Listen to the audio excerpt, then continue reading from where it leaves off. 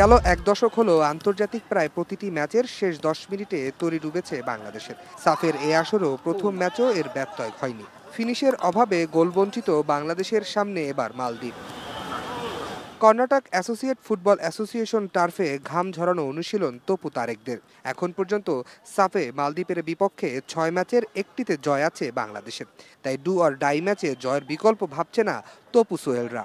তো ডেফিনেটলি ওইটা নিয়ে আমরা একটা গ্রুপ যেই মিটিং থাকে সেটাও করেছি নট অনলি ওয়ান টুয়াইস করেছি।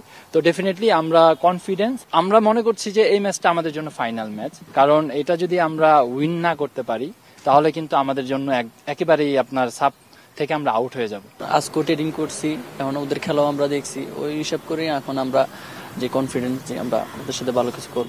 দলের সাথে ভিডিও অ্যানালাইসিস থেকে শুরু করে মাঠের কৌশল সব বিষয়ই হয়েছে গুরু শিষ্যের চর্চা তাতে ফুটবলারদের নিয়ে আশা বেড়েছে কোচ হ্যাভিয়ার ক্যাবরেরার we want to win. The team is ready. The, the atmosphere is good. Everyone is positive, and tomorrow we have a really tough fight because it's going to be a very tough game. But we do believe we will we will achieve the objective.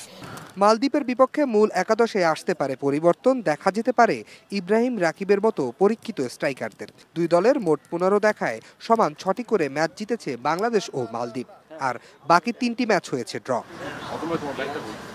শক্তির বিচারে Lebanon এগিয়ে থাকলেও মাঠের পারফরমেন্সে সমানে সমান টক্কর দিয়েছিল বাংলাদেশ তবে শেষ মুহূর্তের আক্ষেপ আর স্ট্রাইকারের অভাবে ভুগতে হয়েছে সেই ম্যাচটি আরও একবার সেই অভাব নিয়েই মাঠে নামতে হচ্ছে মালদ্বীপের বিপক্ষে জামাল ভুঁইয়াদের।